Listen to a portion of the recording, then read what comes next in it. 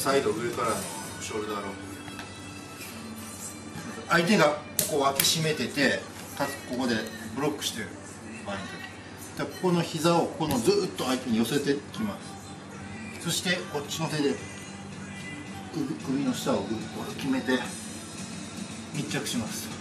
でしっかり入ったらこっちの手を腰に当てて体を回転していきます。で頭をこのマットに。